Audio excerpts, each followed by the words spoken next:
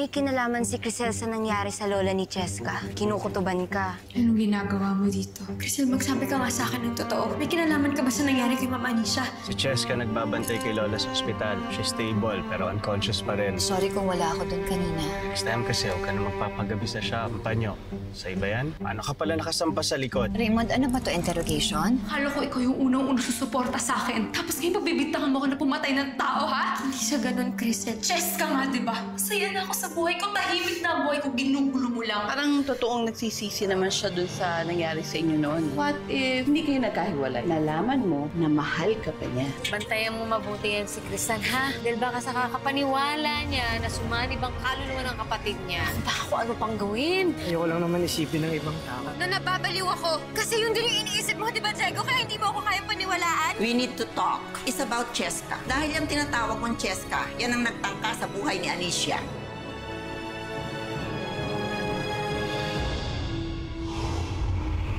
Alam nyo, tita, mapapalagpas ko yung pagdududa ninyo sa anak ko. Pero hindi hindi ko mapapalagpas yung ginagawa niyo ngayon, yung gumagawa kayo ng kwento. At saka pinagbibintangan ninyo yung anak ko, hindi ho tama yun.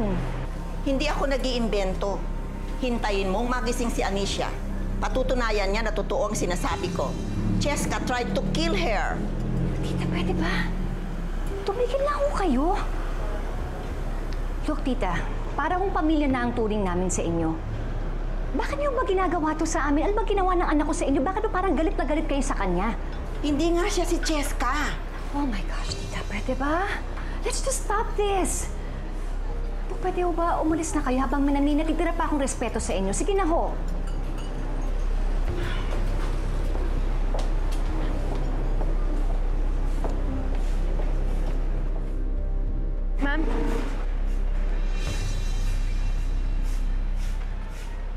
Ikaw yung kaibigan ni Cheska, right? Ang kakambal ni Crisel, di ba? May alam ka ba sa mga nangyayari? W- Wala ho. Kaya ho ako sumunod sa inyo dahil gusto kong malaman kung ano ho yung sinasabi niyo kay Ma'am Geraldine kanina. Bakit ho kay Cheska niyo sinisisi yung nangyari kay Ma'am Anisha? Because I know the truth. Bago na aksidente si Anisha, she called me up. She told me na may ibang kaluluwang namamahay sa katawan ni Cheska. Kaluluwa ni Crisel. Plano naming paalisin ang kaluluwang yun sa katawan ni Cheska. Pero hindi nga natuloy dahil sa nangyari sa kanya. Malakas ang kutob ko na nalalaman na ni Crisel na alam na namin ang totoo. Kaya pinagtangkaan niya si Anisha. Sa wakas po, nakapag-usap na rin kami ni Geraldine. Hindi niya daw po ako mapapatawad. Galit na galit pa rin po sa akin hanggang ngayon. Pero kahit papano, naramdaman ko naman kagabi, nakinig naman siya sa akin. Yun naman ang mahalaga, nakapagpaliwanag ka. At hindi na kontrabida ang tingin niya sa'yo. Saka nabigyan niyo na naman ng isa't isa ng, ah, ano nga ba yon? Closure. Oh, bakit wala kang imig dyan? Huwag mong sabihin na umaasa ka pa. May pamilya na yung tao. At may Teresa ka na. Alam ko naman yun, Tay. Ay, anak ko. Mahal mo pa ba? Tapatin mo nga ako, anak. Tay, mahal ko siya noon. Pero gaya ng sabi niya, tapos na ang kwento na.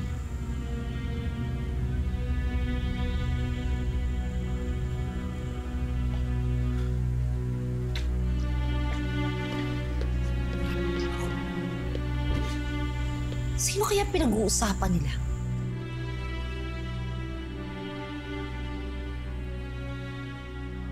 Sige, sige.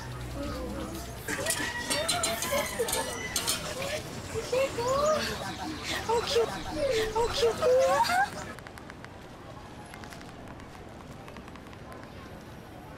Kuya! Uy, Ang cute-cute niya! Pa-picture naman! Bibili kayo? Please! Ah. Pa-picture naman! ay, yung fishball. Smile ka naman! Huwag ka mahiya! Bro, ano si Diego? May kasamang chicks, bro.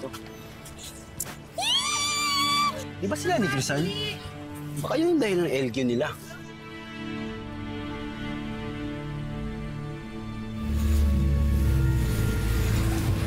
Bayad, kuya.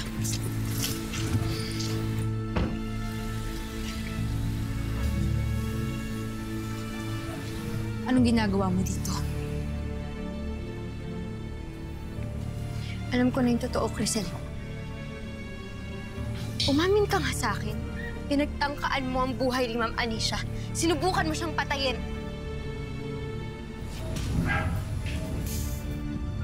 Ah, gusto mo ng anak. Uy! Uy! Gago ka talaga, ah! Gusto mo yan. Ano kayo? Ano bang problema mo? Di mo alam. Papaalala ko sa'yo. Uy! Hindi ka mo yan! Ako ka! Uy! Ah! Gago ka! Bro, bro! Diego, tama na yan! Uy! Tama na, tama na, tama na! Dito! Ulo ka! Tawag mo ako! Ilang beses ko ba sasabihin sa'yo, wala akong ginawang kasalanan. Kahit sa akin, Crisel, hindi mo na kaya magpakatotoo. Sinabi na sa akin ni Ma'am Dolores lahat. Tinulak mo si Ma'am Anisha, ginawa mo yun para hindi siya makapagsalita. Para hindi niya masabi na ikaw si Crisel. Alam kong gagawin mong lahat para manatili kang buhay, pero sumusobra ka na. Crisel, sobra na to and I'm sorry. Kasi kung hindi ka aamin, ako ang magsasabi ng totoo kay Ma'am Geraldine. Go! Yan, Crisel! Kailangan ko nang gawin. Bitawan mo ako! Yan ka! Tama na! Tama na, tama na, tama na! Sino na una sa inyo? Yan, nangunguna! Nung nagtitinda ako ng maayos dito, biglang sumusugod. Alam nga namang manihimik ako dito. Niloloko mo si Crisan! Niloloko? Ano bang pinagsasabi mo? Nagdendenay ka ba? Kitang kita ko na ipaglandian ka dito. Hindi ako bulag, ha? Hindi ka nga bulag. Tanga ka rin! Ano sabi mo? Pare, pare, tama yun, pare. Dito kaya ang sarili mo! Plano ko! Nakalagal ko pinakat at gisirain mo lang, ha! Rahiya ka! Rahiya ka, kapatid Kristal! Kristal, tama na! Sumusobra ka na! Bakit anong gagawin mo sa akin, ha? Itutulak mo rin ba ako, Crisel?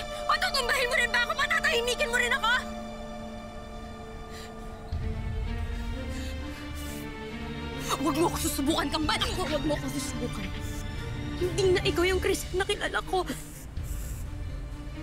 Kailangan ka nang mapigilan. Hindi! Kasi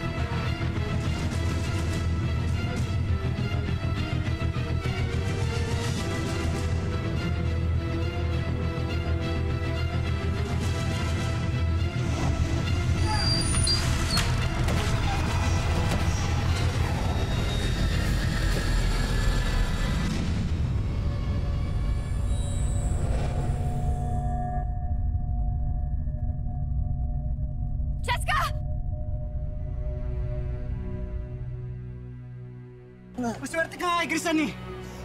Alam mo, hindi ka deserve na boyfriend ni Crisan. Kung pwede lang sana siya magmahal ng iba. Gulo mo eh, no? Unang-una, hindi ako nakikipaglandian sa ibang babae kahit tanong mo pa sa lahat dyan. Ha? Pangalawa, hindi kami ni Crisan. Hindi kami ni Crisan!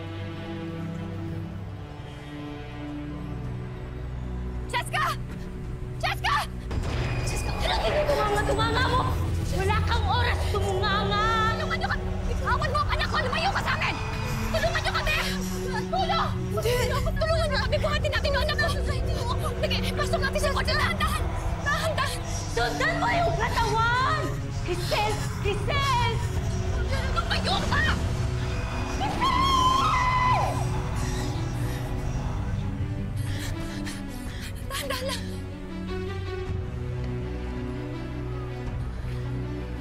Dahan-dahan lang. Salamat ho. Sa office na lang din kayo magpaliwanag. Bo boss, ah, baka pwedeng huwag natin paabutin sa dinto. Scholar lang ako eh. Baka maapektuhan yung scholarship ko. Di ba alam, kaibigan ng mga minito, eh, ayusin lang namin to. Pasensya na, sir. O, sige, sige. Ayusin niyo yan, ha? At huwag na kayo manggugulo. Salamat po. O kayo, magsipasok na kayo. Na, sir, salamat. Sensya na po. Ano, sobrang... Stat na naman eh.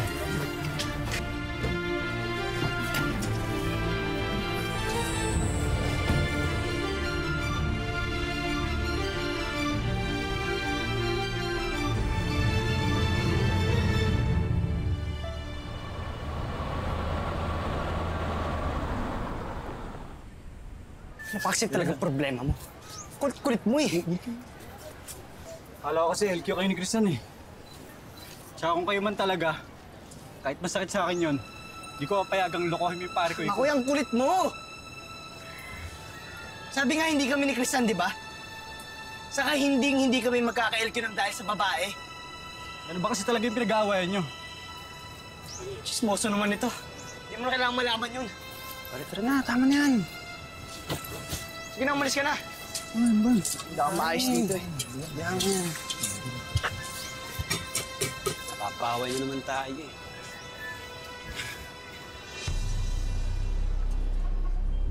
Frenny! Buti naabutan kita. Ano, nakausap mo na ba si Crisel? Si Jessica na bangga. Ha? Ano? Paano? Lori, tinulak ko. Tinulak ko siya.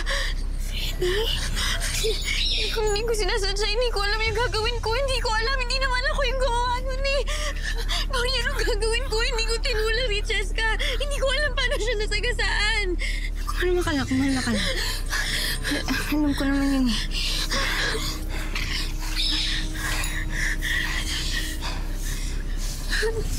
Kailangan ko pumunta ng ospital. Kailangan ko malaman kung ano yung mangyayari sa akin. Sige, sige.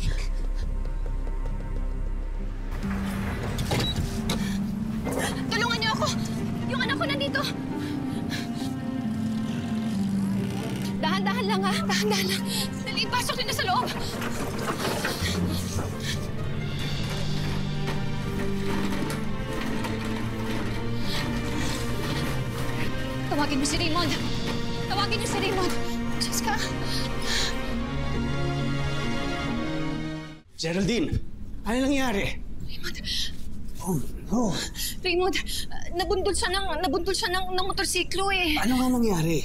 Inabutan ko na nag-aaway sa ni Crisan. Raymond, kitang-kita ko. Tinulak siya ni Crisan. She tried to kill our daughter.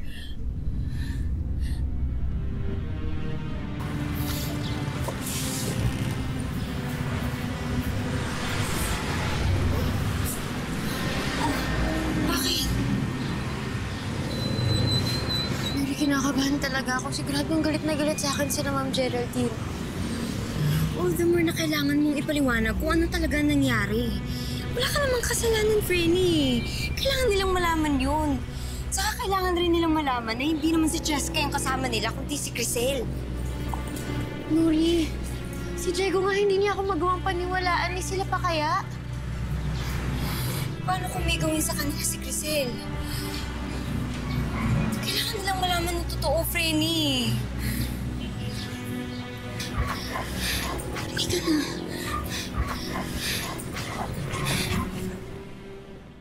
Oh, Brad, palamig ka muna. Medyo masakit yan eh. Tingin nga. Ate yellow na nga rin para sa pare ko, ikaw. Oh, ito yung pare yellow. Pasugod-sugod ka kasi. Bida-bidaan ka na naman. Eh kayo may kasalanan na to eh. Kung ano nung pinapasok sa isip ko. Pero at least bro, nalaman mo nang di pa si Diego at si Crisan, di ba? Pero ano nga talaga kaya yung pinag-aawayan nila? Pare, wala ka na doon. Kung ano man yun, labas ka na doon. Di ba?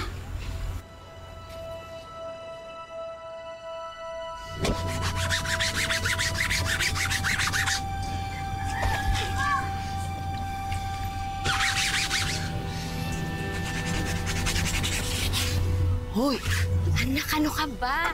Ang init-init ng ulo mo. Tingnan mo, oh. Oo, oh, oh, lumalaki na yung butas niya, no? Sumakay kasi. Akachismoso. Pati ba naman yung problema namin ni Crisan gustong malaman? Ay, anak, hayaan mo na. Protective lang yung tao. Eh, kailan ba kayo magkakaayusan ni Crisan? Totoo lang, hindi ko rin alam na Yason. Ako, mas lalo pa nga siyang naiinis sa akin eh. Mas minamasama niya yung pag-aalala ko. Yung totoo, hindi ko lang naman masakyan yung sinasabi niya eh. Mahirap, hindi nga talaga kayo magkakaayusan ni Crisan. Pero Nelson, hindi ako titigil. Gagawin ko yung lahat para magkaayos kami ni Crisan.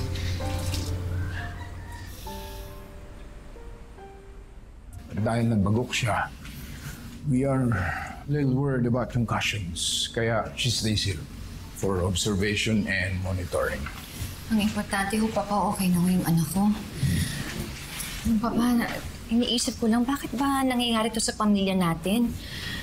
Sunod-sunod na lang, di pa nga nakakalabas si Lola. Tapos ngayon si Cheska nandito na naman sa loob ng ospital. Well, dahil yan kay Crisan. Simula na naging scholar mo siya, gumaling na talaga pamilya natin.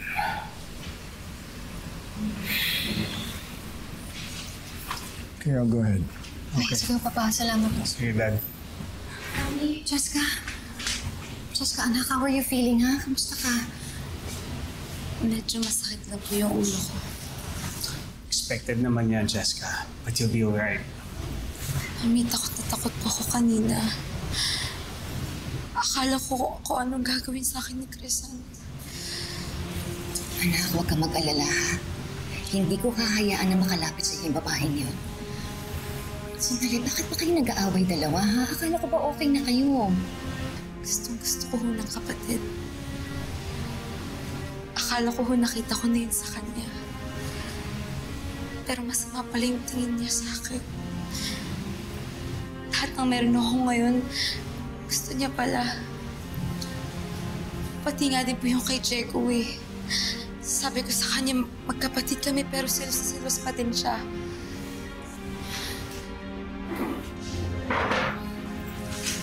Bakit hindi mo kagad sinabi sa akin? Dahil alam ko naman pong hindi niyo ako papaniwalaan. Pero okay lang po yun, Mami. Alam ko naman po mas gusto niyo si Crisan. Anak, that's not true. Hindi totoo yan. Ha? Siya kasi nararamdaman ko minsan eh. I'm sorry if you feel that way. I'm sorry if you think that you're not good enough. Pero anak, believe me when I say, you're more than enough. Anak, mahal na mahal kita. I will do everything to protect you, okay?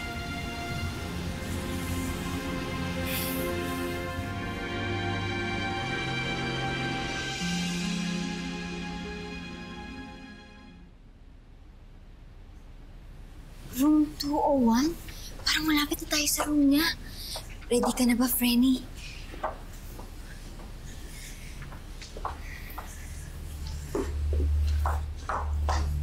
Oh, ito na yun! 202 Francesca de Villa. Uh, ito na yung room ni Cheska Crisan.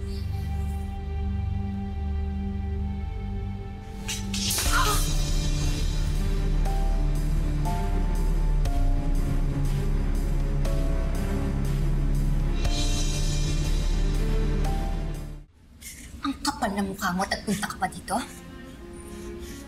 Pagkatapos ng lahat ng ginawa ko sa'yo, itong igaganti mo sa amin, ha? Bakit? Bakit mo gustong patayin ang anak ko, ha? Bakit? Mami, hindi ho. I'm sorry. Mali ang eh. pagkakakilala ko sa'yo. Akala ko mabait ka? Yung pala nasa loob yung kulo mo? Bakit? Bakit mo sinaktan ang anak ko? Magsalita ka, bakit? Ko naman ho sinasadya eh. Hindi ko talaga sinasadya. Ay, ay, ma'am, I'm sorry. Mag magpapaliwanag ho ako. Ano? Magsisinungaling ka na naman, ha? Gagawa-gawa ka na naman ng kwento sa akin? Ano? Sige! Huwag ho kayo maniniwala sa kanya. Huwag kang mag-alala, anak. Alam ko na. Ma'am Geraldine. Nag-iimbento ka na naman. Ayoko na marinig yung kasinungalingan mo. Alam ko na. Sinabi na sa akin ni Cheska ang lahat.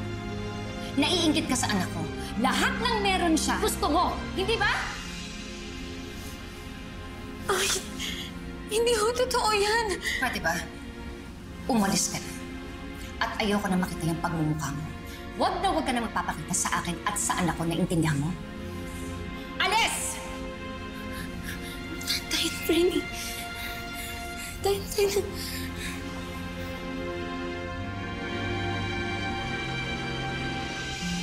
Frenny.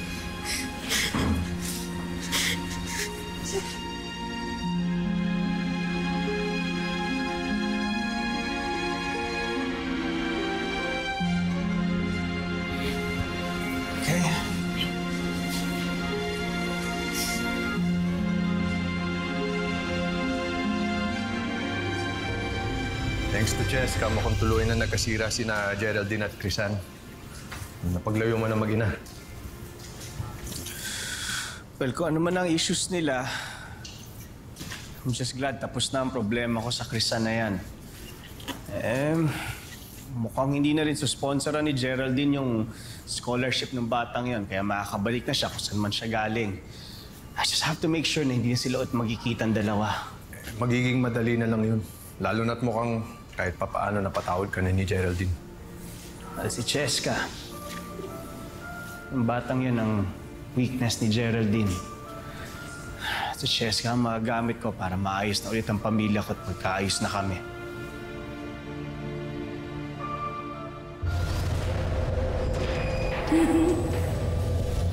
Kapag masamang damo nga naman, matagal mamatay.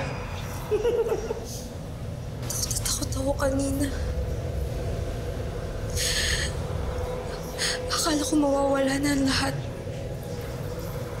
Akala ko mamamatay na ako.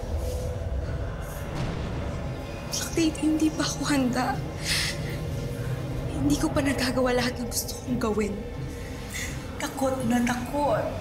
Kaya hindi ka nag-iisip ng tama. Gusto ko lang naman masira si Crisan. Gusto ko lang naman mawala siya sa buhay ko. Kaya sinakripisyo mo, pati ang ninakaw mong katawan. Paalala, hindi ka nakaluluwa. Maari ka nang masaktan o mamatay muli. Pero alam mo, swerte ka pa rin. Kasi nakabalik ka. Pero baka sa susunod, hindi na. Kaya mag-ingat ka. Pero ang importante, nakabalik pa rin ako. At sulit lahat ng pinaghirapan ko dahil ako ang panalo. Dahil ako ang pinapaniwalaan ni Ma'am Geraldine. Kahit nagalit na siya kay Crisan. Kaya hindi-hindi niya na ako magugulo pa ulit.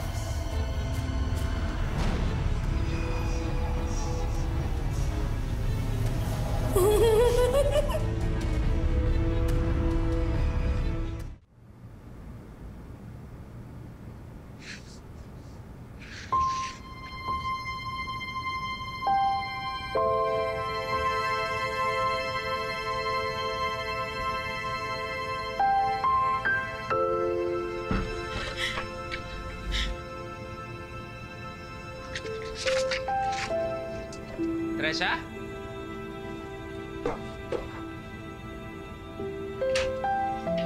Teresa, ikaw ba yan? Teresa, ikaw ba yan?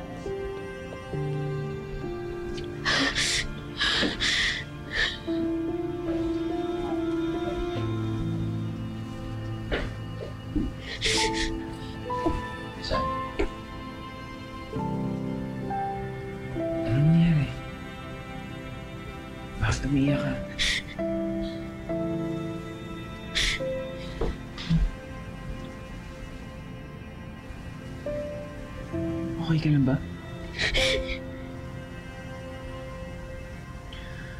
Alam mo, kahit ano pa yan, pwede mong sabihin sa akin. Alam mo naman, parang anak na tinutuwin ko sa'yo, di ba?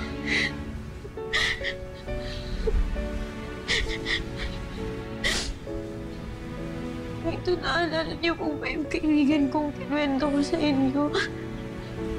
Oo. Bakit?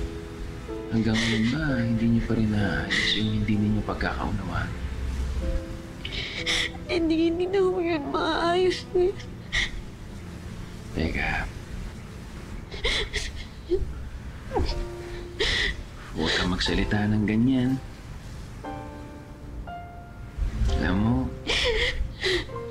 Lahat ng problema, mayroong solusyon.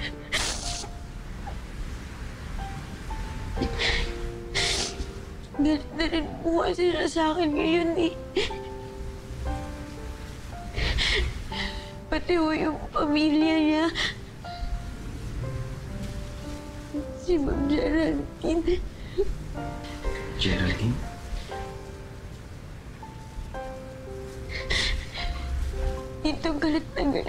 Galit na rin siya sa akin ngayon. Galit na galit na ho sa akin si Ma'am Geraldine ngayon.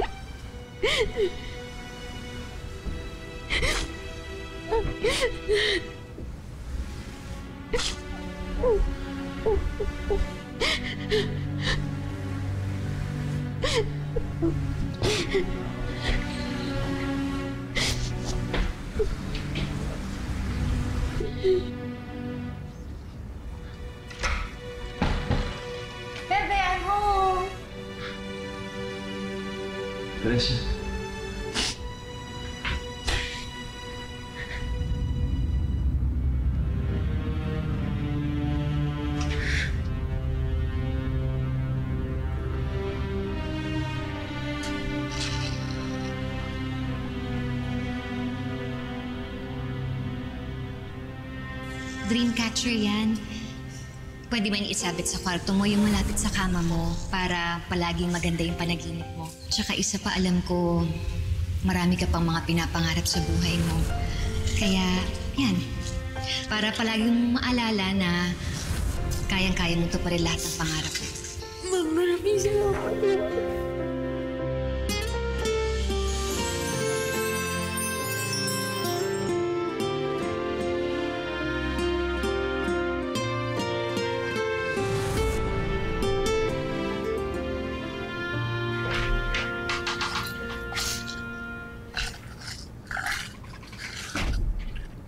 Hoy, ikaw. Kay Santa. Anong drama yon, ha? Anong dinadrama-drama mo kanina kay Alan? Sabihin mo nga sa akin. Ha? Po? Anong po? Eh di yung paiyak-iyak mo sa Alan ko? Ha? Ano yun? Ano yung drama na yon? Hindi, nagalit po kasi sa akin si Ma'am Geraldine eh. Oh.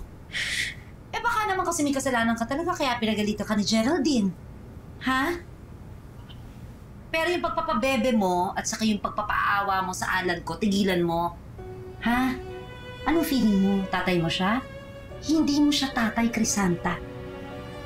Okay? Naintindihan mo ako? Huwag bisitin, ha? Tigilan mo yung drama mo, ha? Masasaktan ka sa akin eh. Arte-arte nito. Naintindihan mo ba ako? Ha? Listen. At drama.